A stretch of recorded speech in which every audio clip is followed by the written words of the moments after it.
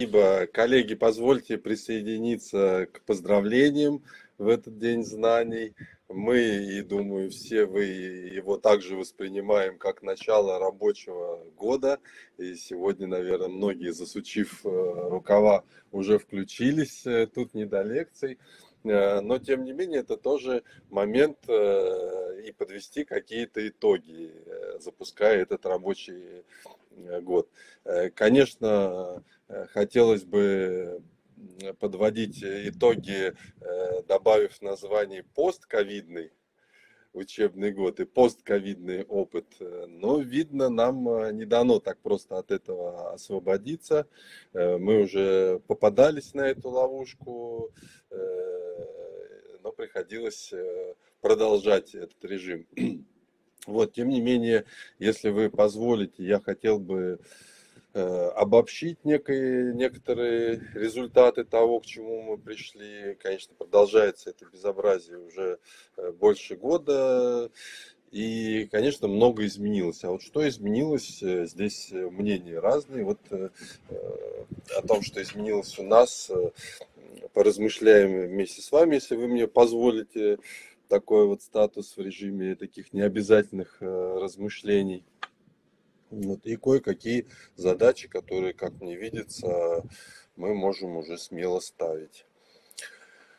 Ну, сейчас многие говорят о новой нормальности, что мы уже живем немножко по-другому. Вот, на самом деле не так-то просто вот это все обобщить и понять, что по-другому. Маски уже уходят с наших улиц, и, наверное, это не то другое, которое там могло бы нас пугать.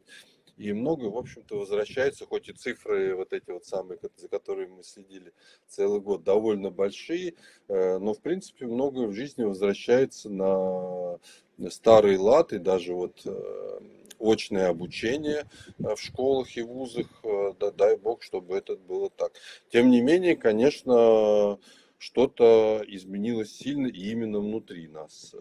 Вот еще есть время, как говорится, над этим подумать. Э, вот что мне, например, бросилось в глаза, что, наверное, очень сильно изменится практики корпоративной культуры. Это мы видим и у нас в компании. Ну, и я думаю, первая реакция, которая со всеми этими пандемиями были, уход на дистанционку. И, конечно, я думаю, что это сильно изменит характер э, работы, вообще понимание, что такое трудовой коллектив, понимание того, что такое я как член трудового коллектива. Вот как, например, сейчас э, реализовывать какую-то такую корпоративную солидарность, которая, когда все сидят э, по, по своим домам, как проводить корпоративы. Э, Все это инструменты э, такой вот какой-то особой трудовой сплоченности. И, наверное, будет совершенно другая кухня вот этих вот вещей. Ну, посмотрим, да. Я думаю, что в образовании не настолько большие будут э, смещения, но вам виднее, вы тоже через это проходили, в принципе, университетское образование, оно уже было э, таким немножко рыхлым в плане, что э, люди, преподаватели довольно свободно себя ведут, приходят, уходят, это не то, что офисный режим. И тем не менее, вот нас-то и вас коснулось тоже в первую очередь, потому что образование, как оказалось, это как клубы, концерты, футбол и так далее, это место массового скопления людей. И здесь э, ну, вы были в первых рядах.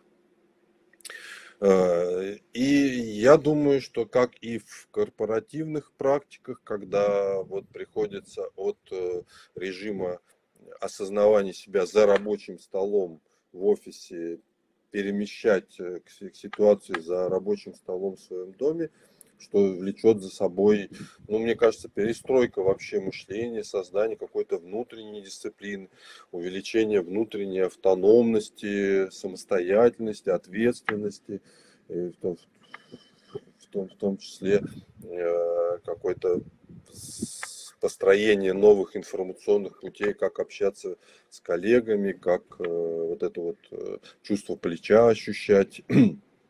Вот здесь, думаю, все вопросы примерно того же будут касаться касательно того, как близко мы находимся друг с другом. Сегодня чаще всего звучат, вот, звучит вот это понятие гибридное образование. Ну, на самом деле, которое очень непонятно. Что такое вообще гибрид? Это значит все, все во всем, что-то разное в одном. Но у нас было с вами такое понятие заочного образования, которое было очень близко к тому, что мы имеем вот в условиях пандемии. И то, что сейчас э, Э, приходит под названием смешанного обучения, оно весьма-весьма напоминает вот этот режим э, с какими-то там своими акцентами. Я бы назвал это сменой диспозиции. Э, то есть, разумеется, так далеко, как было в заочном образовании, когда вот встречались практически только по сессиям несколько раз в году, Э, вот так далеко не будет. Но и уже никогда не будет так близко, как это было лицом к лицу. Э, смена диспозиции. Э, и вот тут вот несколько вещей, которые нас затрагивают и где произойдут и уже происходят существенные изменения. Вся эта пандемия касается прежде всего коммуникации личного контакта мы мало представляем себе, насколько много на, этом, на этих коммуникациях строится, но строится практически все. Э, вот осознать, что сколько строится, можно как раз только вот в новых условиях информационных технологий, когда к нам приходят мессенджеры, социальные сети, когда действительно становится, появляются коммуникации не личного контакта, а так вообще все, что было у нас, э, опиралось на личные контакты, в том числе обучение, особенно вот учитель, ученик. И вот здесь, когда нас развели по своим домам, вот эта вот ось э, общения и коммуникации, она претерпит э, испытания, изменения. И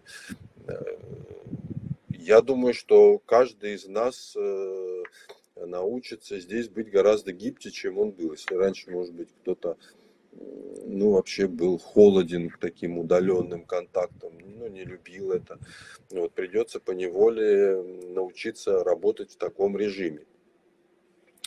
И в частности, второй момент, который вот вытекает из того, что э, мы не только сообща э, что-то делаем и учимся, второй момент – это внутренняя самодисциплина – когда ты оказываешься один, обучаешься онлайн э, и работаешь, э, то, конечно, совсем другие э, требования. На, на тебя уже не смотрят чьи-то глаза, тебя там не окрикивают. Особенно, конечно, для детей это вот очень значимо.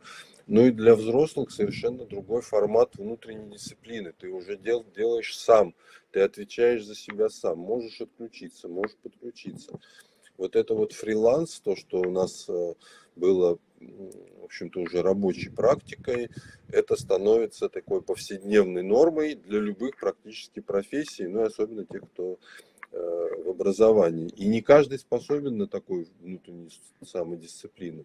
Но процесс обучения, я думаю, здесь будет очень серьезный. Мы получим вот из этих двух пунктов э, нового человека через какое-то время. И я бы здесь вот такое даже вот э, обобщение сделал. Вот эта вот э, коммуникация личного контакта или удаленного, или удаленного контакта, это, по сути дела, э, такая одна из основ общества цивилизационной внутренней, внутреннего устройства да, мы вот с вами работаем с информацией и редко задумываемся о том, что любая информация, которая к нам приходит, это по сути дела удаленная коммуникация. Когда мы имеем дело с э, книгой, это по сути дела вот сообщение некого автора из э, другого пространства, может быть даже другого времени, это его удаленные сообщения. А, есть э, сообщения очень далекие, ну, например, архивы, это вообще сообщения там из э, других времен. Книга – это то, что вот более-менее рядом. но тем не менее это довольно далеко. И вот я бы так, такой тезис выдвинул, что существуют горячие культуры и холодные культуры вслед за Маклюином, да, только немножко по-другому. Горячие культуры, те, где все происходит э, на личном контакте, в личном общении, где доминирует вот это личное сообщение. Ну, многие культуры, э, вот э, я, например, был в Дагестане и обратил внимание, насколько это горячая культура, там все нужно говорить друг другу, да, ни, ни, ничего письменного, там мессенджеры, это все не, не так работает, как у нас. И холодные культуры, ну, скажем так, тоже скандинавские, да, где немножко вот это личное общение приглушено, и где гораздо больше, выше барьеры между людьми, персональные барьеры, и где как раз более охотно и более спокойно воспринимается вот этот вот контакт мессенджера. И мы, мы видим, что Э, это очень прогрессирует, то есть люди быстро научаются вот так удаленно работать через мессенджеры, и дистанция э, своего рода коммуникация удаляется. И вот каждая культура, она, наверное, предполагает свою дистанцию между коммуникантами. Где-то слишком близкую, где-то довольно далекую. И вот в этом как раз эм, вот здесь вот, э, в этом ползунке, так скажем, мы и увидим э, колоссальные изменения, которые принесла пандемия. Э, если в целом наша культура все-таки теплой была достаточно, несмотря на все, то сейчас она станет гораздо холоднее. Удаленная коммуникация станет более доминантные, усилить свои позиции значительно. И вот это вот, пожалуй, самое главное изменение, которое я бы констатировал после этих всех наших уроков. Ну и еще один момент, вот у меня он обозначен, привычка вторая натура. Вот, наверное, еще тоже самое важное. Э, именно здесь э, формируются такие глубокие изменения, и то, что мы за период пандемии изменили свои привычки и привык, привыкаем э, к вот этой удаленной коммуникации, вот это вот, наверное, то же самое колоссальное удаление. Э, вот те семимильные шаги, о которых говорят, э, в принципе, они не очень заметны, потому что вроде все, что было, то там и остается. Но вот то, что мы привыкаем так общаться, это уже наша повседневность, э, вот это тоже факт.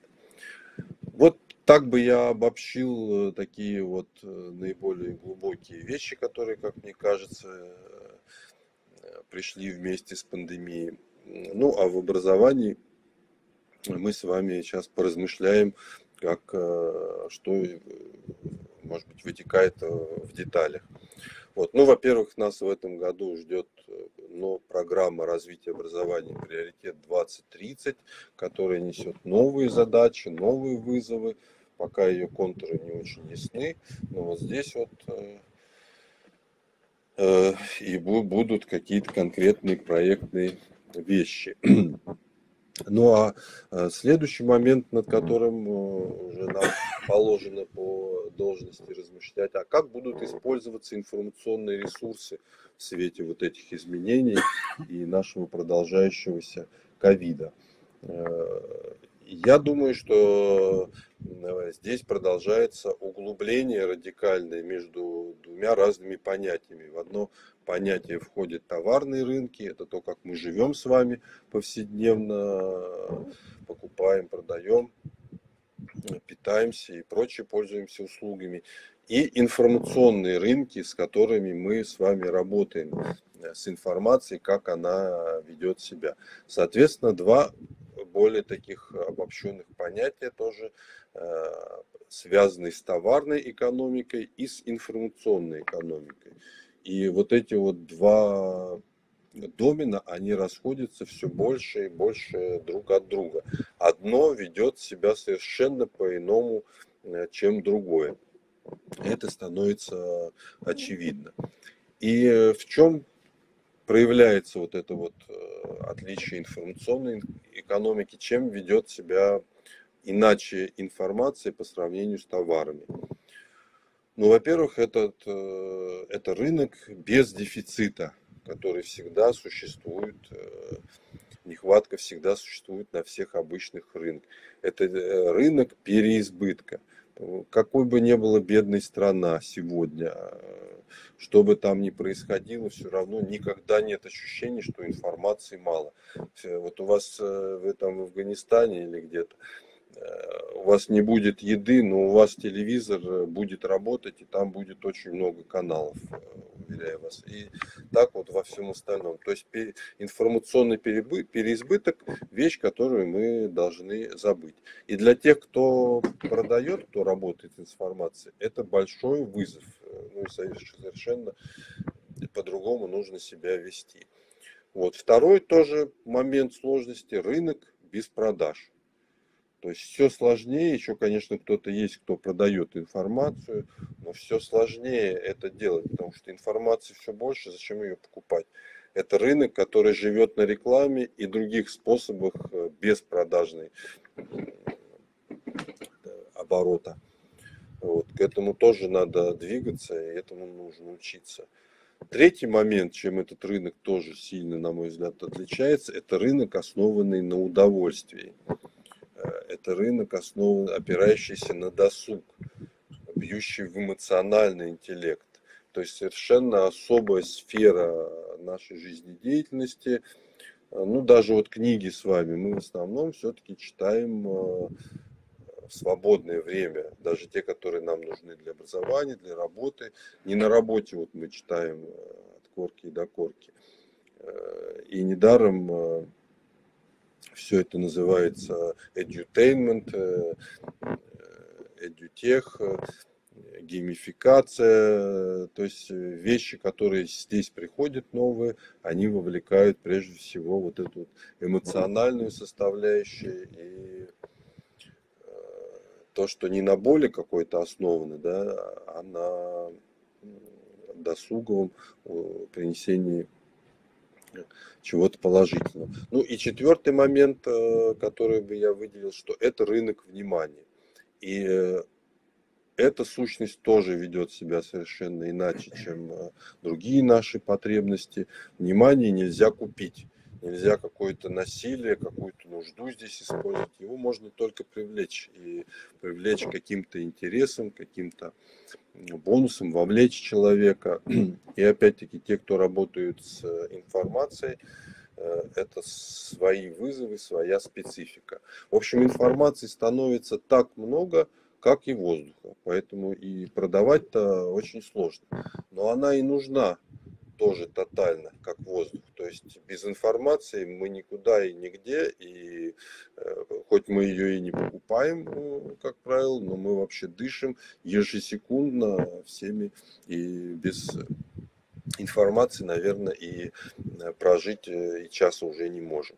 Вот так меняется наш внутренний информационный обмен информацией мозг.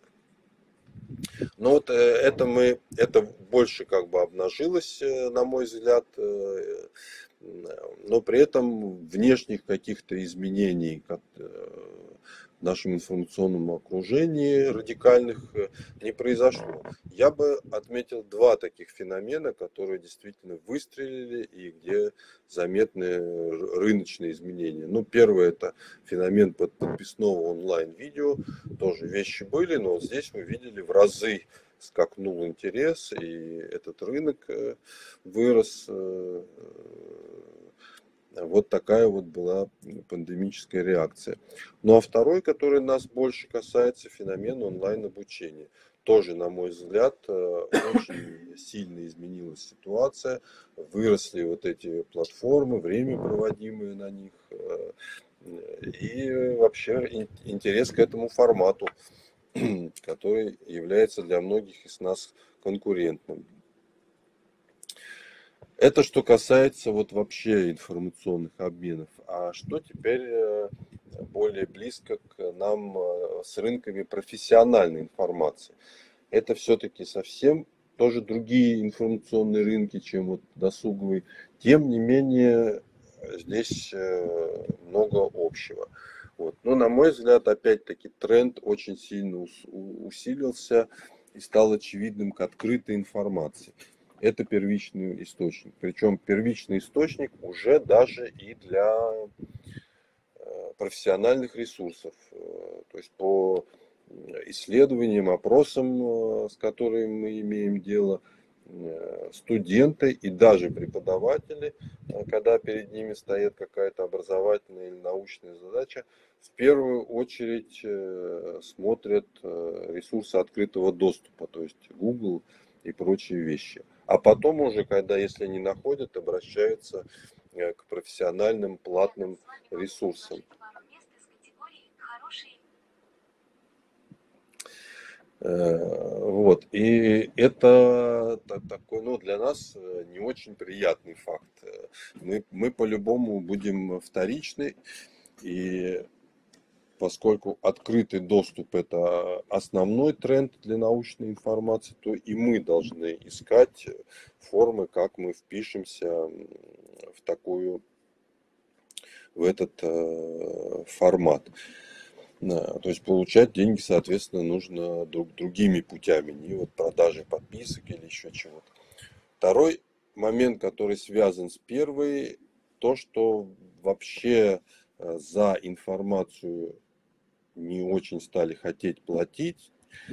И вообще происходит, соответственно, перенос веса от проблемы получения нужной информации к проблеме авторской публикации. То есть вот наши клиенты, научно-педагогическое сообщество, для них э, между тем стало большей проблемой не прочитать какую-то информацию, учебник и так далее, а опубликовать свою свои вещи. Вот эта публикация становится важнейшим критерием э, и преподавательской, и научной деятельности. И э, вот зачастую больше интерес вот именно в этом аспекте нашей деятельности, то, что мы помогаем публиковать, а, а не в том, что мы даем что-то полезное для чтения. И, ну, соответственно, публикация – это основной потенциал для персональных и авторских рейтингов, для научного продвижения. То есть это дает, э, это уже часть э, карьеры э, ученого, а, а, а не просто там его какое-то там авторское творчество. И вот здесь тоже я бы такой обозначил очень интересный, глубокий тренд, что публикации, особенно научная публикация, это уже становится не какое-то проявление авторского творчества, авторского начала. Вот как раньше было, вот есть талант, человек становится автором, его словом все там зачаровываются. И, соответственно, все сразу его начинают слушать. Да? Вот это авторское такое дарование. А сегодня это уже немножко другое. Это повседневная функция – там преподавателя ученого, его служебный долг, служебное задание, он обязательно должен что-то там писать, что-то публиковать. Да, он автор, но это уже скорее смежная такая, вытекающая из его основной деятельности, побочный продукт. И вот если мы раньше как издательство имели в основном с продуктом авторского творчества, авторского таланта, да, то сейчас мы имеем дело вот с этим конвейером э, производной деятельности э, ученых и всех людей, они все начинают писать. И это совершенно другое. Да, они авторы, но, знаете, это уже без всякого, часто вообще не то, что без дарования, э, но часто это лучше бы он ничего не писал. Но мы должны уже обслуживать вот этот вот конвейер, чтобы все где-то публиковались и где-то нашли место. И вот этот вот переход в издательском мире, он, конечно, такой глубокий. И в частности, и в э, рыночных форматах э, тоже мировой такой тренд, обмен публикаций на чтение. Это так называемая модель публикуйся и читай. Уже платят э, университеты не за то, что они читают, да, им доступ к информационным ресурсам, а за то, что им дают возможность опубликоваться в этом пакете. Там за миллион, э, ты можешь несколько статей своего, своих преподавателей опубликовать. Ну и, соответственно, рынок платных публикаций. То есть это, конечно, совсем другое, э, чем то, с чего мы начинали. И в частности, э, один из ресурсов профессионального контента – это ЭБС. Вот мы к ним пришли. Ресурсов и возможностей публика, публикования и доступа к информации. И поскольку мы ресурсы, которые должны каждый день э, доказывать свое существование, где нигде не прописано, что ВУЗ э, должен нас э, приобретать, а тем не менее мы одна из немногих IT-площадок, которые, для которой оплачивают, платит ВУЗ, мы всегда должны искать вот эти моменты сцепления, в чем мы нужны, в чем мы можем быть полезны. И тут э, тоже, мне кажется, интересная э, эволюция, которая заметна э, на нашем рынке, над чем мы все вместе работаем. Не только университетская библиотека онлайн, но и остальные. Вот я бы здесь три этапа выделил. Первый этап развития ЭБС как платформа электронных университетских учебников. И это, в общем, понятный такой этап, э, э, очень полезный, когда книжные ресурсы печатные вследствие дороговизны были заменены электронным форматом. Это все удешевило и более-менее как-то позволило на, на тех же деньгах э, внести в университет гораздо больше информационный поток. Вот. И это существует у ТБС как набор электронных учебников. Это я считаю, уже позади. Э, оно и останется, э, но это уже реализованный момент. А вот э, амбиции и задачи, связанные с будущим, связаны с, с, с развитием уже другого модуса ИБС, как площадки платформенного образования. Платформенное образование – это тоже новый термин, связанный с цифровой экономикой, цифровым образованием, новый способ организации образовательного процесса. Э, и это уже широкий спектр различных цифровых продуктов, э, среди которых электронная библиотека только одна из. И вот здесь, конечно, поскольку цифровой университет, это, скажем так, тоже университет платформенного образования, здесь, конечно, ЭБС будут бороться за то, чтобы встроиться, чтобы стать э, такой же современной площадкой, помогающей в образовании. Э, вот в этом плане второй этап, э, я думаю, ЭБС будут и уже сегодня строятся как электронные библиотеки вузов это как раз процесс в активной работе.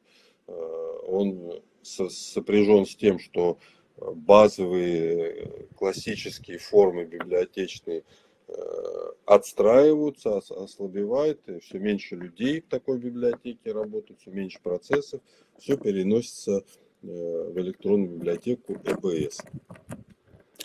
Но это вот тоже задача, так скажем, на несколько, на, на ближайшие пять лет для всех нас. А вот третий этап, и он тоже не замедлит ждать, э, ЭБС должны понять себя как IT-инструменты развития образования и науки. То есть стать полноценными платформенными образования, которые рядом с э, университетом, рядом с образовательным и научным процессом и должны дополнительно все, что IT могут, э, вот что-то такое делать. Вот это и называется сервисами, это тоже в активном э, строительстве. И за этим, конечно, будущее, за этим конкуренция э, ЭБС э, с другими IT-платформами. И очень интересно, как она будет развиваться. Ну а в этих условиях вузовские библиотеки как мы знаем, превращаются в информационные центры по управлению цифровыми ресурсами и образовательными платформами, они будут теми, кто вот этот весь процесс курирует, контролирует. А вот старые классические задачи каталогизации, работы с книгами, классического комплектования, библиографии, э, я считаю, отходит в прошлое. Это, в конце концов, все будет возложено на нас, э, как некие центры работы с книгой, и университет это уже будет получать готовеньким. То есть эти задачи переносятся на, на ЭБС. Вот так я понимаю общую задачу развития ЭБС и хотел бы чуть-чуть остановиться, как э, происходит сегодня вот это завоевание рынка образовательных платформ, что делаем мы и что делают наши коллеги. Вот, отдельно я потом э, остановлюсь э, на аспекте онлайн АБС и онлайн обучения, что, что мы здесь э, можем показать, это как раз итог к первому сентябрю. Ну а сейчас я в таком назывном плане назову направления, над которыми, по сути дела, работают все наши конкуренты ЭБС. Э, но наши базовые функции это публикационные сервисы, книжные наполнения. Да, это уже такой повседневный процесс. Ясно, что он идет, это уже воспроизводство. Э, и для образовательной платформы будущего, конечно, это уже недостаточно, слишком мало. Просто замена печатной книги электронной это слишком мало должны создаваться сервисы для поддержки образовательной и научной работы. И вот для таких сервисов включается креатив, включается инновации, искусственный интеллект, бигдата и все остальное. Мы, конечно, как и другие, э, тут э, активно копаем. И, э, может быть, вы не согласитесь, но мне кажется, что сегодня все ЭБС, это речь идет о крупных вот 4-5 платформах наших конкурентов, развиваются и создают примерно те же сервисы. Вот я бы практически не, до, не назвал бы ни одного сервиса, который делал бы один, а не делали бы другие. Вот удивительным образом все идут прямо нога в ногу, э, ряд в ряд. И что же это за сервисы? ну, из крупных э, направлений. Ну, во-первых, это, конечно, библиографические сервисы, э, описание, оформление книги, вот эти все э, библиографические записи, дои и так далее. Это большой, конечно, пласт работы, это достаточно чисто такой библиотечный пласт. Второй очень большой блок, ну для нас, например, он ключевой, это сервисы пакетного и покнижного комплектования. Э, это связано с тем, что ну, вообще с э, электронной библиотекой, которая, как вы знаете, может и целиком быть доступна, да, как НЭП, национальная электронная библиотека, гигантским пакетом, но в принципе вот такой гигантский э, гигантские коллекции не нужны, это стало давно понятно. И сейчас э, происходит, э, э, происходит деление вот этого вот книжного всего пространства на различные пакетные покнижные сервисы, подписки, рекомендации и так далее. Вот. Это довольно большой, сложный пласт внутренних работ с данными. И практически все это ведут от библиокомплектатора у разных АБС, это называется по-разному. Но это внутренняя тоже работа нас как платформ. А третий момент в этом же направлении, но еще более инновационный, для нас это тоже ключевое такое направление внутренней работы с книгами как данными – метаданными, текстовыми данными. Это сервисы заполнения дисциплин и направлений, сервисы формирования РПД. Э, то есть это скорее уже такие рекомендательные сервисы, поисковые сервисы, которые помогают работать с массивами э, книг э, и информации, и сразу находить то, что нужно, покупать то, что нужно. И это очень сложная очень сложная обработка вот того огромного гигантского книжного массива. Вы знаете, что книг на Земле больше, чем людей, и каждая книга это своя жизнь, свой организм, э, памятник, свое сообщение. Вот чтобы это все обработать, представьте, конечно, нужен искусственный интеллект, нужны все вот эти самые-самые мощные, новейшие наработки. Э, и если классическая библиотека, вот с ее каталогом бумажным, она тоже работала с этого массивом, но, как сказать, на уровне пенок, да, библиографических записей, вот, то наша задача уже цифрового века э, заключается в том, чтобы вот этот весь массив информационный как бы пронзить э, вплоть до внутренности текстов, да, весь стандартизировать, превратить в одно управляемое, которое легко расчленяется, легко отделяется, ну, с которым можно работать цифровым образом. Это вообще колоссальная работа. Вот, прошу здесь э, отдать дань тем, кто этим занимается. Очень сложная работа. Ведется электронными библиотеками всего мира. Вот это вот мы делаем. Э, постепенно и долго. Следующий э, элемент сервисов, который тоже все БС подключили, сервисы инклюзивного образования.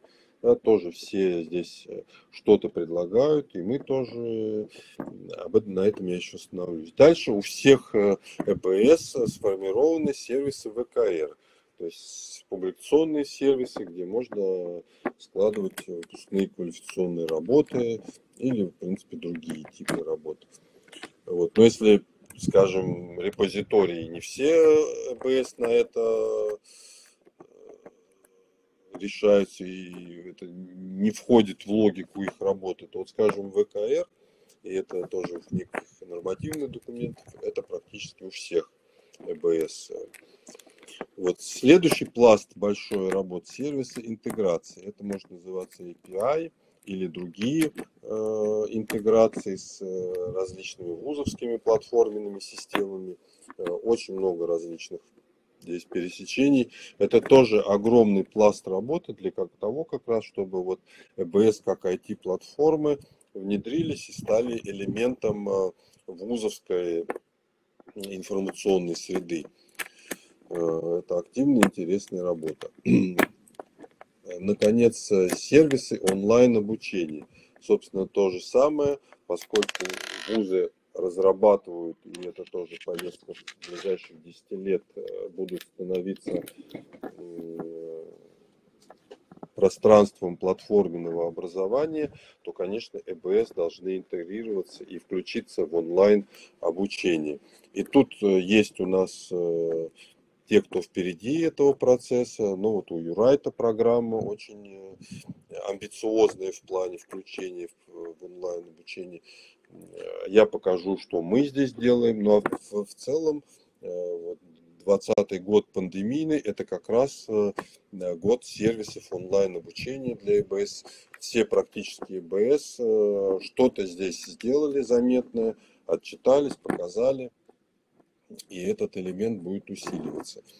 Ну и еще один э, тоже тренд, э, вещь, которую все ЭБС, которые взялись, э, сообщая поодиночке, это программы дополнительного образования, повышения квалификации, то есть все обросли какими-то там онлайн обучением преподавателей. У нас это называется Директ Академия, учебно-методический центр с большой программой. У кого-то программы поменьше, но практически все сегодня активно учат преподавателей, причем не только работе с АБС. И это одна из смычек книги и обучения. Э, вот. Э, а, ну и еще один э, ключевой тренд, который тоже я бы выделил, то, что все ЭБС становятся издательскими центрами. Если раньше мы отличали ЭБС издательство, ЭБС агрегатор, то практически сегодня это различие почти исчезло. То есть э, все крупные ЭБС, они же и крупнейшие издательства издательства, которые в каталоге э, собирают э, до трех и выше тысяч наименований крупные издательства, а тем же издательствам классического типа, которые без ЭБС, конечно, им становится жить намного труднее, ну, потому что ЭБС это аудитория, это прямой доступ.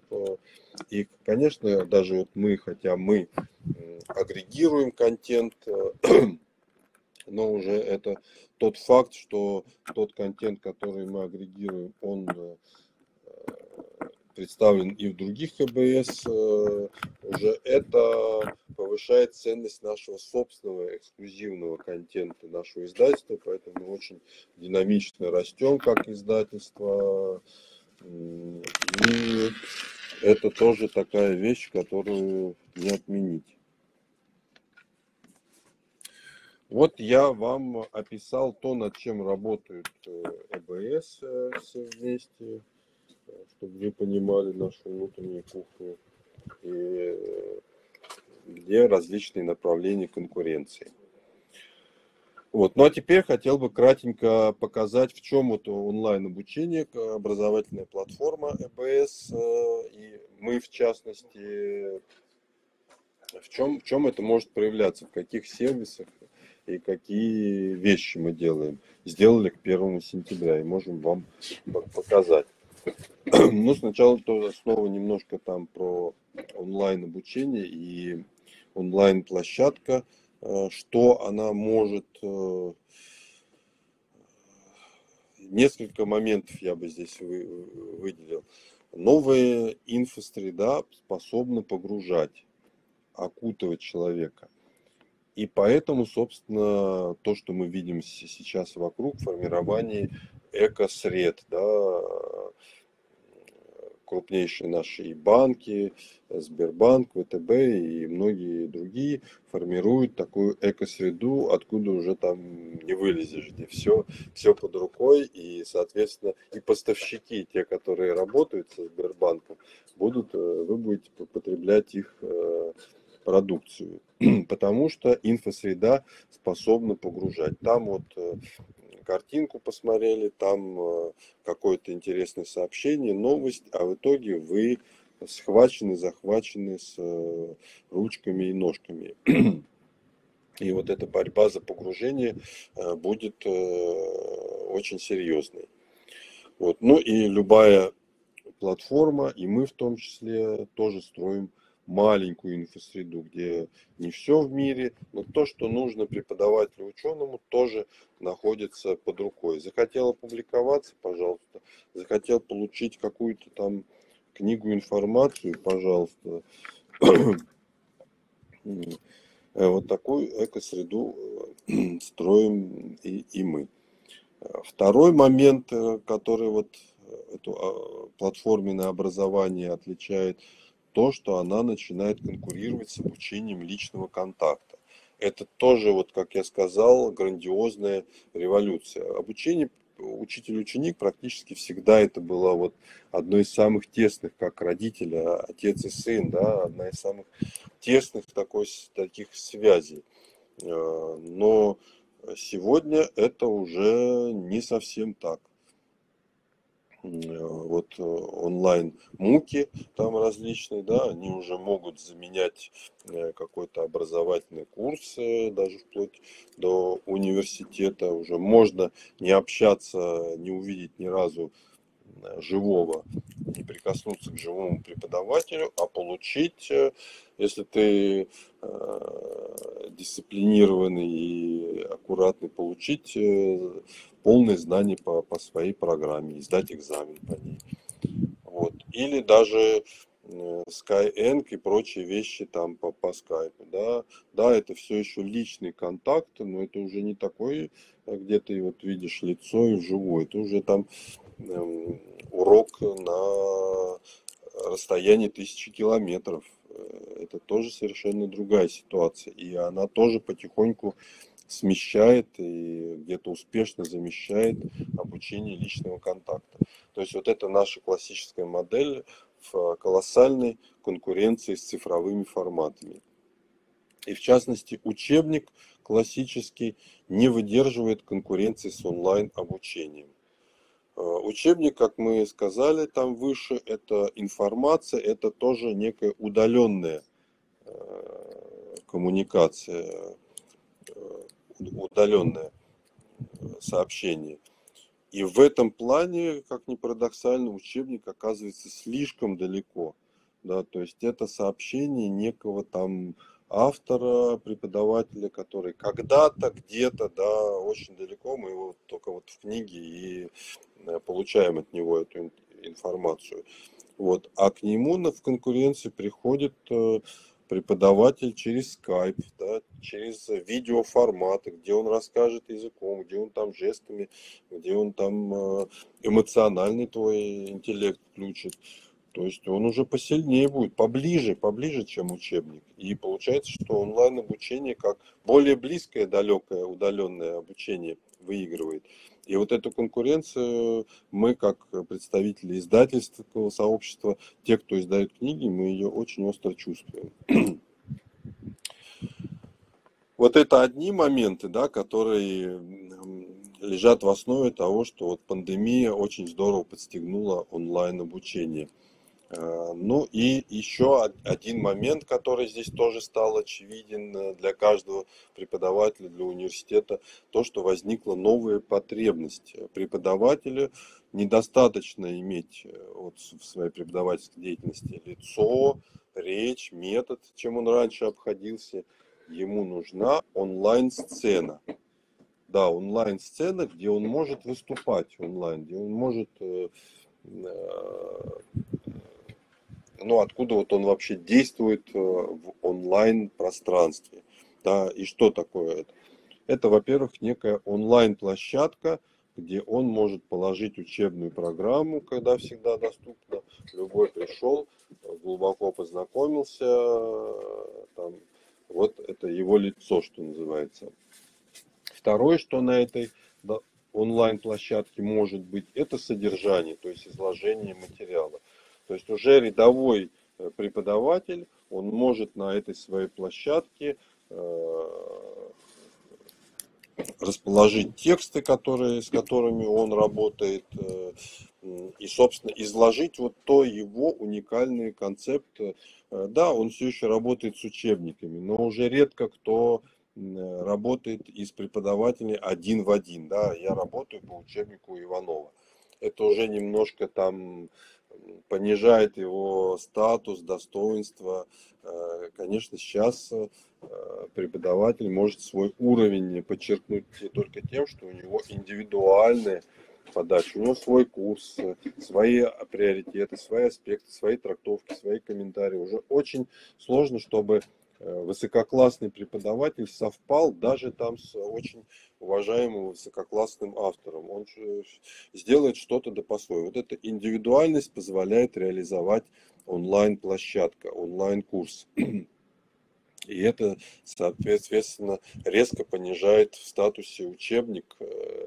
Э, э, уже этот преподаватель со своей площадкой будет, так сказать, загонять на свою площадку, а не на какой-то там чей-то учебник. Вот. И третье, что нужно, чем помогает онлайн-площадка, онлайн-сцены, контрольные, проверочные и дополнительные материалы.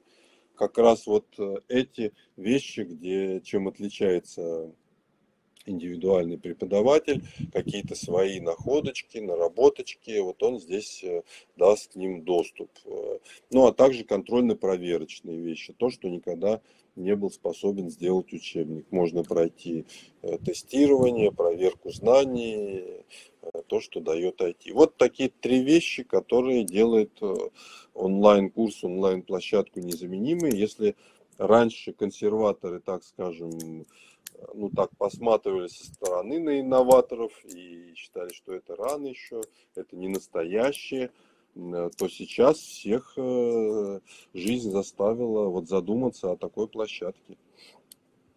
И в, в итоге происходит э, некая конверсия, скажем так, э, концепта индивидуального универсального знания, да, под которым мы и видели учебник. Учебник как некая модель учебной программы, вот знания в лучшем своем изложении, да, вот в школе еще это осталось. Вот переход, конверсия вот этой модели в персонализированный и локализованный курс. То есть это уже курс для моего университета, это мой курс. Он для определенной проблемы, для ауди- определенной аудитории, то, что вот хочет дать наш университет и может дать только наш университет, нигде больше этого не увидеть. Вот, и вот эта вот конверсия, она и вызывает к жизни университетские э, пространства онлайн обучения. И вот э, к этой концепции должны адаптироваться и мы, и наша ЭБС. Поэтому э, мы здесь объявляем в этом году новую концепцию ЭБС песочницы. Старая концепция ЭБС книги была вот в той парадигме, да, идеальные учебники как идеальные модели, и мы вам даем их э, целую кучу по всем направлениям. А новая концепция – это ИБС-песочница, то есть песочницы э, цифрового контента, который позволит вам, преподавателям, создавать свои онлайн-курсы. Э, вот, то есть э, это вот э, очередная ступенька в этой глобальной трансформации. Трансформация учебника в онлайн-курс, трансформация библиотеки в информационную среду и, соответственно, трансформация ЭБС в песочницу. Это вот три грани одного и того же процесса. Но здесь есть тоже такой вот интересный аспект, дилемма. Э, в связи с онлайн-курсом. Э, те, кто с ними работает, давно уже э, с ней столкнулись и ставят этот вопрос. Что такое онлайн-курс? Это продукт издательского оформления, то есть издательский продукт, или самостоятельного авторского творчества. То есть преподавательский продукт, вот то, что он сделал там для себя на коленке для своих учеников.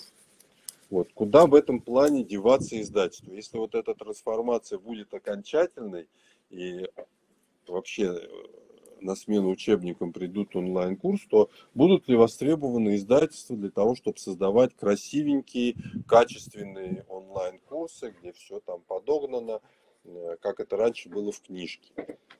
Вот. Или вообще преподаватели сами все научатся и, по сути дела, гудбай – издательство как посредник здесь не нужен. Вот, на самом деле очень интересный и глубокий вопрос, и каждый тоже его решает немножко по-своему. Вот, в частности, Юрайт мы знаем, они взялись за то, чтобы создавать вот эти вот идеальные онлайн-курсы и точно так же их тиражировать, как учебники распространять. Может быть, э, так э, тоже пойдет. Но я вот вижу немножко по-другому, что вот эта концепция – онлайн-курсы как некого качественного издательского модельного продукта, она реализовалась и пошла на бизнес-рынке, на рынке корпоративного обучения. Там создаются такие э, курсы по заказу, красивенькие, с видео и так далее. И они, как правило, служат для большой распределенной корпорации, чтобы обучать э, э, вот, отдельным функциям, отдельным их задачам. А вот образовательный рынок, ну, во-первых, э, в нем не столько денег, и деньги не на то предназначены. Образовательный рынок пошел по другому пути, где все-таки преподаватель является и автором, и производителем онлайн-курсов. Существуют фабрики, это вот э, в пандемии уже очевидно стали Moodle, Moodle с платформы конструктора своего. И дальше каждый что-то там сам строит по, по мере своих талантов. Где-то это подороже и по, покачественнее, где-то это совершенно такой рабочий режим имеет. Вот. И в целом, конечно, будет и тот, и тот э, вариант, э, но базовый, как мне кажется, будет вот этот второй, когда преподаватель сам должен составлять свой курс. И вот, собственно, для этой функции мы и разворачиваем э, свою работу, свою ЭБС как э, песочница. И вот такой вот образовательный курс, э, что он собой представляет? Ну, во-первых, он всегда представляет собой некий сборник. То есть отсюда может быть, в этом сборнике может быть контент из совершенно разных источников. Это, как правило, компилятивный там, а, обычно средний преподаватель не пишет э, собственный текст, э, он берет из разных э, учебников или статей и как-то там компонует. Второе, этот учебный контент, это не просто тексты, это уже, как правило, различные дополнения мультимедийных форматов, там ну, прежде всего, иллюстраций, схем, таблиц, э, видео элементов. Э, я вот это все называю информационной кванты. Э, то, из чего составляться должен онлайн-курс, это информационные кванты, то есть контент совершенно разных источников и объемов. Ну и вот ЭБС в этой парадигме должен стать поставщик контента, который нужен для создания собственного курса. На сегодня этот главный поставщик это условный Google, то есть интернет, где нарушая права и пользуясь чем угодно, не самым качественным источниками преподаватели создают свой онлайн-курс. Но зачем же вот э, ломиться в открытую дверь, там э, через окно заходить, брать что-то не правовым способом, когда вот мы э, для вас создадим профессиональный контент, который будет точно так же удобно использовать для этих задач. И вот несколько сервисов, которые мы э, сделали уже для этой задачи.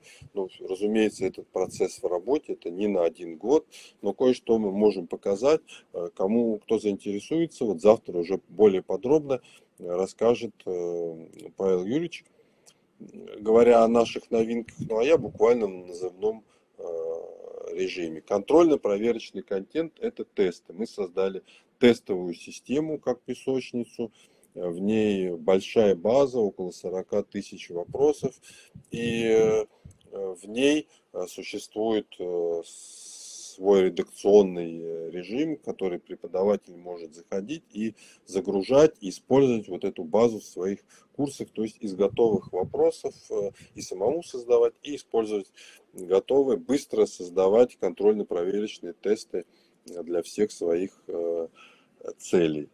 Вот. Этот, э, то, что он создал, этот тестовый инструмент доступен в различных режимах тестирования, и проверка знаний, и тестирование, и экзамен, и в различных форумах. Здесь практически все базовые формы тестов, выбор ответа классический, различные виды сопоставлений, то есть практически все, что можно придумать в этом режиме, все реализуется.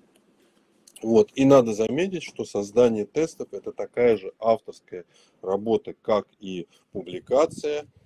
И это тоже имеет вознаграждение на нашей платформе. То есть для своих студентов его использование бесплатно, а для использования в других вузах, другими преподавателями, если преподаватель дает доступ, это начисление роялти и, соответственно, вознаграждение. Вот второй тоже блок э, наших работ это мультимедиа и геймификация.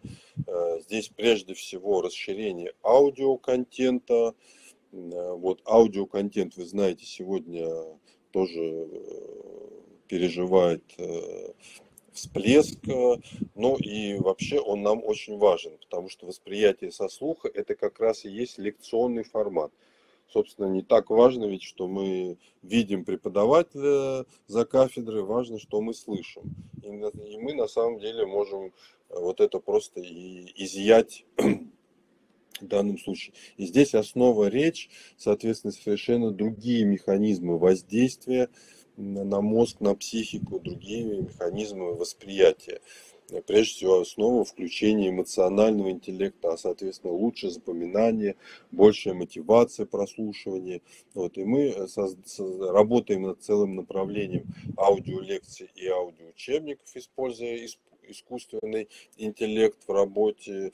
И с нашими достижениями вы уже можете, в принципе, познакомиться. Ну, а второе направление, конечно, видеоконтент. Э, тоже очень важное дополнение образовательного онлайн-обучения. Здесь мы, как и с аудио, сделали новый каталог. В него э, включено более 5000 единиц нового контента. Э, разумеется, это контент из открытых источников, из YouTube э, и так далее. Вот, агрегировать самостоятельно такой видеоконтент чрезвычайно сложно. Вы это можете представить.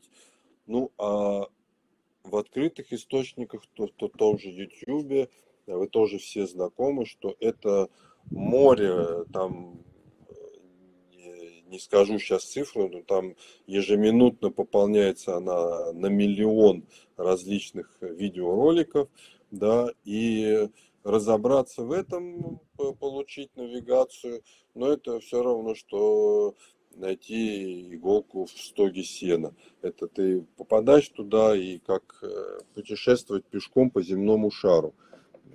есть рекомендательные сервисы, там вам дадут 10 каких-то роликов э, похожих или что-то, но это все уже становится не охватываемо. Вот, разумеется, требуется некая навигация профессиональная, некая выборка. Вот этим мы и занимаемся. И мы э, ищем уже редакционно, качественно, качественный контент, какие-то интересные видеолекции, лабораторные работы, э, всяческие вещи, которые создаются. Ну и сами, сами приглашаем, э, создавайте преподаватели, это тоже вам будет вознаграждаться.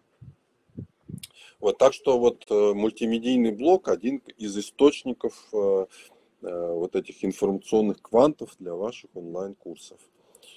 Вот. Ну и третье, сама площадка электронных курсов э, для того, чтобы создавать. Мы знаем, что э, крупные вузы, они имеют свои площадки и э, их разрабатывают.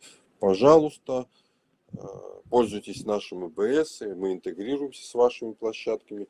Но у кого нет таких, кто не хочет тратить время на это, или отдельно преподаватели – наши подписчики. Если вам нужно создать э, курс, который не мож, нельзя создать на вузовской площадке или по каким-то другим соображениям. Есть у нас много таких преподавателей. Мы приглашаем вас. У нас создана отдельная платформа электронные курсы, э, профессионально поддерживаемые, бесплатные совершенно и с интегрированным нашим контентом.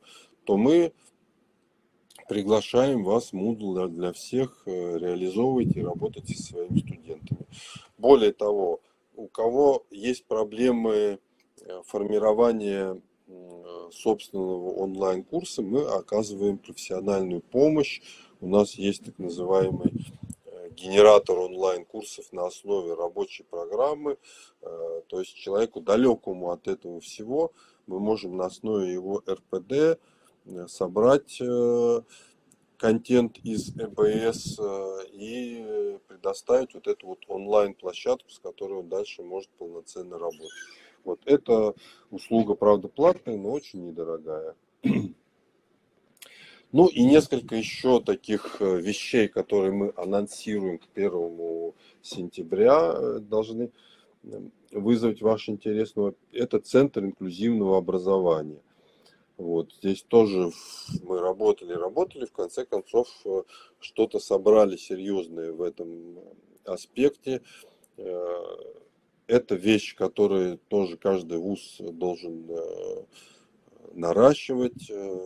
Забота о лицах с ограниченными возможностями здоровья, она и в нашем законе об образовании, и ну и просто это некий, некое э, следствие нашего благосостояния, наше развитие.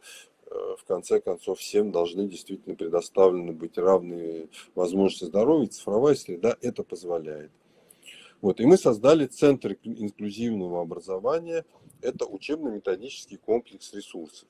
В него входит э, вот наши, наш инновационный, не имеющий аналогов модуль для слепых, э, э, модуль Louvrain с использованием аудиоконтента в формате DAISY, в формате для слепых, с возможностью заказа аудиоконтента on demand. Вот вещь, которая подходит не только для слабозрячих, но для полностью слепых. И вы on demand можете заказать любое любое учебное пособие сегодня. Вот, если вот другие ЭБС э, сформировали какой-то пул из небольшого количества учебников, вот у нас 150 э, тысяч э, единиц контента, книг, и, разумеется, невозможно это все подготовить, это все очень дорого. Вот, но по заказу вы можете сделать любую конфигурацию, которую вот для своих студентов э, с э, э, ОВЗ, которые, те программы, которые они у вас проходят. Второй модуль, второй модуль вообще абсолютно уникальный, это модуль для глухих. Это ни, ни у кого из наших коллег больше нет. Вот. А между прочим, глухих не меньше, оказывается, чем слепых, и они тоже не могут пользоваться вот просто обычными ресурсами для зрячих. Вот, они используют видеоконтент на языке жестов. И э, вот в нашем проекте в тишине называется именно такие вот учебные курсы и создаются на языке жестов. И здесь вы тоже можете заказывать курсы on demand. Это тоже очень дорогой контент, разумеется, сам по себе. Но вот on demand э, можно его персонализировать. Вот третий блок этого центра онлайн-вебинары и курсы по проблемам инклюзии. Тут у нас широкая программа ведущих специалистов, очень хорошо посещаемая, так что приглашаем, будем информировать вас. Ну и, наконец, книжные издания по проблемам инклюзивного, коррекционного образования. Тоже уникальные, очень крупные коллекции. Э, подписывайтесь, пользуйтесь. Это теперь в одном месте. Таков наш Центр инклюзивного образования, но он тоже в работе, в ближайшее время уже будет э, предоставлен публике. Еще одна вещь, которую мы в этом году заявляли и уже можем с гордостью сказать, что в целом, в общем и целом построили, библиотека on demand. То есть, по сути дела, это комплекс библиотечных услуг, э, то, чего нет у нас вот сейчас в данном виде, но что вам нужно и то, что мы вам сделаем. Вот. И это уже сегодня целый комплекс ключевых библиотечных э, э, услуг. Ну, во-первых, комплектование on demand, приобретение книги, которая вам нужна в любом э, режиме. Э, то есть это даже если вы не подписаны, то вы в любой момент можете скомплектоваться, будет это покнижено или какими-то блоками профессиональными, то есть вот эту порезку э, существует библиокомплектатор, и эту порезку разных форматов вы можете осуществить самостоятельно, мгновенно. Вот. Если у нас нет какой-то книги, то у нас для этого есть сервис eCorsar, то есть поиск издания по требованию. И мы вам ищем это издание, правообладателя, цифруем, заключаем договор, даем доступ. Это практически полный комплекс э, издательских услуг.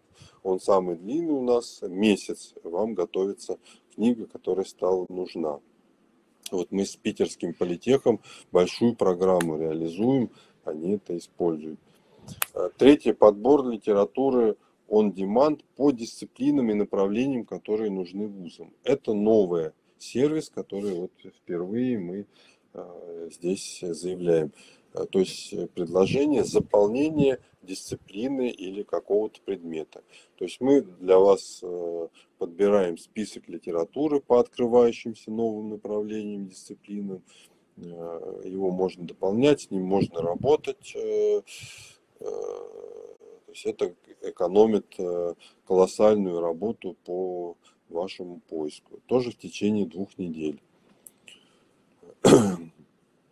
Вот. Ну и дальше более классическим уже, который стало print on demand, да, если нужны книги в печатном э, виде, любые практически из книг нашей БС мы э, вам печатаем и предоставляем две недели. А также аудио on demand, да, если нужны аудиокниги, то прежде всего для незрячих или по-другому, две недели и книга для вас будет озвучена. Вот. Если вам еще что-то нужно и что можно сделать вот так по заказу, э, рассказывайте нам, мы это тоже сделаем on demand. Вот, ну, уже иду к концу утомил вас. Последний проект, который мы представляем к 1 сентября, контентный проект. здесь тоже мы очень много делали в прошедшем году. И крупнейший, и, думаю, самый интересный из этой серии – открытые монографии. Это коллекция э, фундаментальных трудов и научно-популярных книг по гуманитарным, естественным и техническим наукам. Это наш самый глобальный проект. Вот аналог его только вот у издательства Лань существует. СЭФ. Но у нас это именно монографии. Научная, научно-популярная, практическая, методическая литература, ретро-издание. Ну и подчеркну, это не только вузовская литература университетская, это дорогая, дорогостоящая издательская, в том числе переводная литература, которую мы постепенно открываем доступ. Вот. И причем все это бесплатно, доступ, но не буду здесь лукавить, по формуле обмена.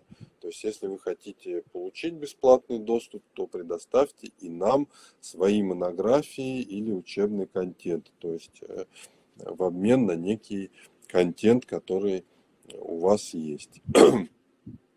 Вот, будет э, в перспективе около 50 тысяч э, эта коллекция. Ну и, как нам кажется, особенно для ведущих научно-исследовательских вузов, вот эта монографическая литература, мы уже сегодня здесь крупнейшие агрегаторы, это абсолютно незаменимая э, нужная вещь. Э, открытая монография, а вторая, которая может вас заинтересовать, книжное ядро русской Э, культуры. Еще более крупная коллекция, около 70 тысяч книг, книги, которые нельзя не иметь в библиотеке. Да, здесь мы 70 э, тысяч книг, которые предоставляют русскую культуру, вот ее самый цимус всех лучших авторов, важнейшие монографические труды, вот всегда можете ознакомиться. А, следующий проект, который тоже глобальный и много наших ресурсов э, черпает, ресурсный центр иностранных языков. Мы стали крупнейшим агрегатором э, вот, литературы по иностранным языкам, более 5000 изданий. Вот, и здесь мы э, имеем блок э, тоже крупнейший русский язык как иностранный, э, в частности, вот для китайских, например, студентов у нас много специализированных пособий. И мы предоставляем очень много литературы и по другим языкам, европейские, восточные языки, редкие языки, просто литература для чтения, ридеры, литература российских и литература зарубежных издательств. Вот это мы сейчас Э, тоже обновляем и в ближайшее время уже будет готово более-менее конечном виде, включая мультимедийные форматы и другие. И в отличие от того, что было раньше, раньше ресурсный центр был, по сути дела, частью ЭБС, э нашей базовой коллекции. Вот сейчас это уже мыслится как отдельный проект, он уже не совпадает по контенту, а будет не совпадать все больше. Вот, поэтому к нему нужно будет подписываться отдельно. Ну и тут тоже можно подписываться по отдельным изданиям, по отдельным блокам и так далее. Вот. Из э, новых проектов, которые в смежных наших э, в нашей эко-среде созданы, э, только на одном остановлюсь, но тоже для нас интересным и ярким на арт-портале «Путешествие мечты».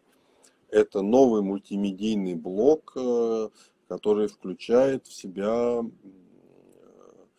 э, онлайн-формат э, по 50 ключевым туристическим направлениям. И как это позволено арт-порталу.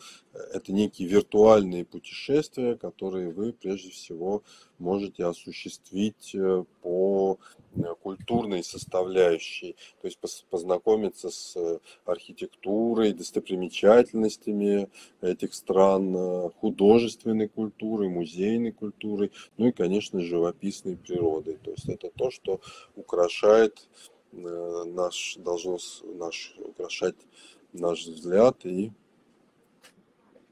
наши чувства лучшие. Вот. И последнее, что может вам быть интересно э, в русле главного тренда пандемии информации под рукой, это мобильные приложения. У нас, вы знаете, было приложение, ну, уже несколько поколений прошли эти приложения. Вот в последнем это ЭБС, э, университетская библиотека онлайн и EBS библиошкола. Вот, и если это было раньше только для системы Android, то наконец мы доделываем для системы Apple и айфонов. И уже теперь все на всех мобильных это будет доступно. Ну а для тех, где нет приложений наши проекты, то есть интернет-магазин, нон-фикшн, э, доступны мобильные версии в браузере. Тоже также очень удобно пользоваться с телефона. То есть мы мобильными остаемся. Вот, собственно, глава, которая посвящена каким-то нашим основным э, достижениям, э, результатам, то, что мы показываем к первому сентября. Э, как я еще раз сказал, завтра Павел Юрьевич Калиников подробнее расскажет о всех этих вещах и о многом другом. А вот в конце я хотел бы снова вернуться к проблеме информационной повестки и тех э, моментов, которые нас не сближает, а разлучает. Э, пандемия, что подчеркивает пандемия? Я, я обратил ваше внимание, что вот функция библиотек, но это мое мнение, все могут спорить, принимает на себя как раз платформы электронной библиотеки или ЭБС. Да? А вот что происходит с классическими библиотеками. Э, здесь уже вам судить, а мое скромное мнение можно не учитывать. Тем не менее, вот я назвал, что библиотеки становятся информационными центрами. Ну а, собственно, что такое информационные центры, пока никто не объяснил. Это как информационная среда включает в себя все, все что только можно придумать вот я, я обратил внимание на то, и я обращаю ваше внимание, что э, ведь э, продолжается строиться и новые библиотеки, и новые библиотечные проекты. И вот среди э, очень важных знаковых событий этого прошедшего пандемийного года, это, например, создание национальной татарской библиотеки в Казани. Вот она, красавица, вы, наверное, видели. Огромное здание, великолепная библиотека нового типа. Вот можно только порадоваться. То есть библиотеки, конечно, эволюционируют, но вот э, куда вопрос? И вот э, как э, тут, тут возникает очень много вопросов. Конечно, если зажигаются новые библиотеки, это кому-то нужно. Но вот э, кому как ответить на этот вопрос? Потому что пандемия, она и другой тезис обнажила о том, что библиотеки лишние посредники. Э, вот это вот э, общение нашего конечного потребителя с экрана, оно приближает электронные библиотеки и приближает контент э, непосредственно конечному потребителю уже не так и нужны библиотеки, как вот эти посредники. То есть мы можем напрямую с этим конечным потребителем работать. Э, и это практически семимильными шагами э, происходит. Пандемия очень сильно приблизила электронные библиотеки как к конечному потребителю. И я думаю, что процесс того, что электронные библиотеки сменяют бумажные будет ускоряться. Но вот то, что строит новые библиотеки, говорит о чем-то совершенно другом, что мы вот в этом, в этом тезис э, никак не включается. А второй момент тоже обращу ваше внимание, положительная информация. В 2021 году, как тоже нам заявили, запускает 305 новых модельных библиотек. В два или в три раза больше, чем планировали и модельные библиотеки тоже осовремененные, очень интересные. Э, вы там все этот процесс видите и радуетесь ему. Но что интересно, вот для меня, модельные библиотеки практически не оснащаются электронными подписками.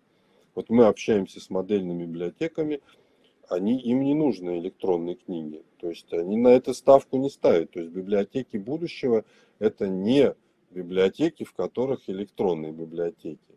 То есть это нас уже показывает, что вот это вот разделение пропасти, она не только в наших головах, она в головах наших мужей, которые там в РГБ, Министерстве культуры и так далее. И это тоже заставляет задуматься, а куда же тогда вот э, для чего строят эти новые библиотеки и для чего они. Э, вот какая мысль меня посетила. Вот посмотрите на эти прекрасные здания. Я сам уже видел очень много таких библиотек впечатляющих. Э, с впечатляющим образом. Вот так внутри образы внутри Казанской библиотеки новой, да, свет. А вот, например, библиотека в Калгари, Канада. Посмотрите, какие вот здесь формы, как вообще это великолепно, чудесно. А посмотрите другие новые библиотеки. Вот э, э недавно построенные, сколько там, пять лет назад в Штутгарте, Германии. Я ее сам видел.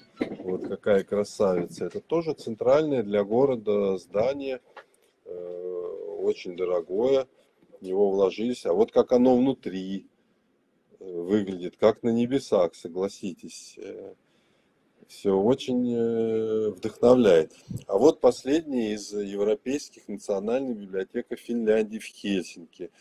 Тоже с помпой, великолепное здание, шикарное. Вот как внутри. Да, вот это все устремленные в будущее. Ну и вот э, что у меня в первую очередь вот с этими образами, с которыми сталкиваешься? Первая мысль, которая приходит, э, да, э, такая парадоксальная, что это не о книгах. Вот что, что, что это несет в себе? Вот это не ассоциируется с книгой в первую очередь. Да? Это совсем с другим ассоциируется. На мой взгляд, это ассоциируется с э, некой демонстрацией того, ну вообще архитектурного образа будущего, какими мы будем, да, как, как, как, какие мы хотим быть. Да. Библиотека это всегда было все-таки функциональное публичное здание, такое же, как там администрация города, э, там, не знаю, центральный там стадион, э, вот какие-то вещи, которые именно публичность э, демонстрируют. И города продолжают строить библиотеки, как они строили раньше но не для книг. Это вот именно для того, чтобы вот эту публичную функцию продемонстрировать, коммуникации, э, того, как мы собираем всех вместе. Это библиотеки, эти библиотеки иллюстрируют скорее э, то, что то информационные э, сообщения, которые посылаются и будущему, и настоящему. Да, это, это пространство для информации, но не для книг. И, соответственно, они должны вбирать в себя новые коммуникации, чувство будущего. Это уже, я бы сказал, не храм знаний, а храм информации. Он говорит не о данных там, о каких-то книгах, а о пронизанности материи интеллектом, да, о том, каковы мы. И я вот недаром на заставку своей на первую заставку э, поставил город будущего. Вот, конечно, новые библиотеки это уже такие первые кирпичики этого э, города будущего, который также и будет расти от публичных зданий к остальным формам библиотеки. Здесь будут пионерами, они будут так, таким знаком. И лучшие архитекторы будут заниматься библиотеками. Вот. Но о том, вот, как наполнить вот эти вот пространства будущего, пространства информации, чем наполнить, это уже, конечно, вопрос к нам, которые будут работать внутри этих библиотек. Может, даже и без электронных книг, и без книг вообще, не знаю.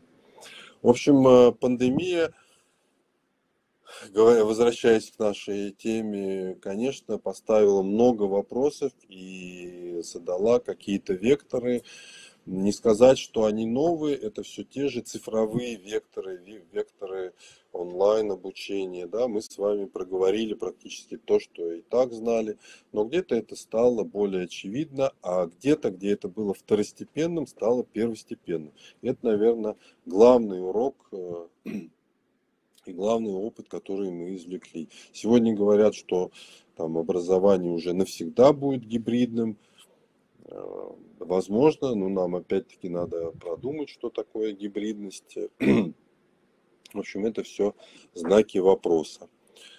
Ну, а ответить на знаки вопроса э, мы для этого используем наши диску... Э, классические дискуссионные формы, то есть конференции. И вот последняя как бы, страничка моего рассказа про то, что в этом году мы провели очень много онлайн мероприятий и конференций. Даже вот одна из тех, которые вышли в новом формате, но станут ежегодными, ДИР 2021. Цифровые ресурсы, технологии повышения квалификации и дополнительного образования. Эта конференция прошла 1 июля в э, Московском политехе, в э, точке кипения.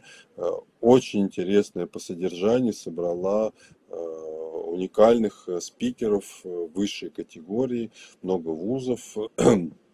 И это тоже одно из тех вещей, которые мы наработали в этом году.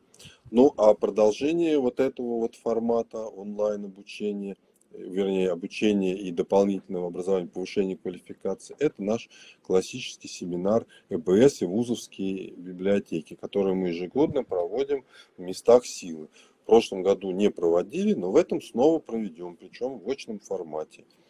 Вот. И ну, вы знаете, что это, это мероприятие сугубо для директоров библиотек.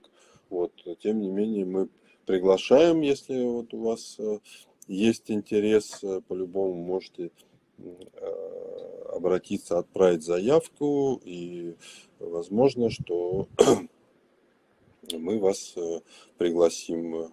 Вот, по-любому, это единственное э, на сегодня мероприятие, где как раз э, довольно, довольно глубоко, основательно рассматриваются вот эти вот проблемы электронно-библиотечных систем и работы с ними, и не только касательно нашей собственной ЭБС университетской библиотек онлайн.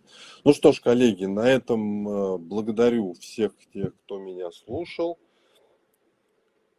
Вот, вопрос здесь э, субтитры для слабош... слабослышащих, так как жесты не все знают. Вот здесь я предлагаю, те, кто заинтересовался вот этой э, да, нашей учебной программой для глухих, э, предлагаю кинуть заявку, но в ближайшее время там весь этот вот алгоритм появится, вот, и мы в бесплатном режиме предоставим вам доступ. Вы увидите, как это все организовано. Это делают все профессионалы, специалисты, не только с субтитрами и жестами, э, жестовым языком, но и вообще это для каждого предмета свой профессионал в этой области. В общем, очень интересный инновационный проект. Так, в ваших перспективных онлайн-курсах э, предусматривается структура содержания плюс тесты. Предусматривается ли общение студентов? Э, так, ну, да, тут э, наши, наши онлайн-курсы это очень широкий спектр. Видите, у нас есть онлайн-курсы Директ Академии, которые проводит, и там живое общение, все есть там с помощью Zoom и так далее. Вот. А есть э, курсы, которые на Moodle. Это уже так, как организовывает э, преподаватель конкретный. Вот, в принципе, там, конечно, доступно общение студентов и все эти форматы. Вот, так что все, что существует здесь нужное, все, все это у нас реализовано. Вот, поясните, что такое открытые монографии. Это наша коллекция монографий, которая, ну, на сегодня она включает, по-моему, 20 тысяч э, монограф... изданий монографического характера. В перспективе это будет 50 тысяч. Мы формируем на основе вот сагрегированного нашего нами контента, то есть классика, она пополняется, и издательство, да, вузовские издательства, классические издательства, вот это такой профильный, там только монографические издания, то есть на, на научной ценности, на научной цели преследует. Вот, заинтересованы в материал для слабослышащих. Э, что нужно сделать для получения доступа? Ну, как я сказал, там э, должна у нас на страничке, где для лиц с э, специальными потребностями, вот на нашей страничке, там должна появиться информация и контакт, э, чтобы бросить заявку для получения доступа к этому проекту. Вот если это сейчас еще не выложено, потому что у нас все, как всегда, там последний час, к сожалению, то вы отправьте на Директ Академию эту заявочку вот со своим контактом, э, и вам предоставят доступ, с вами свяжемся. Вот, стоимость бесплатно, вот э, эти полгода все будет бесплатно. Ну что ж, коллеги, спасибо. Больше вроде вопросов нет. Так, да, вебинар доступен. Что ж, еще раз поздравляю вас. Э, приходите и учитесь в нашей Директ Академии, пользуйтесь э, нашими информационными ресурсами. Мы всегда рады вас видеть. Всего доброго, хорошего вам дня.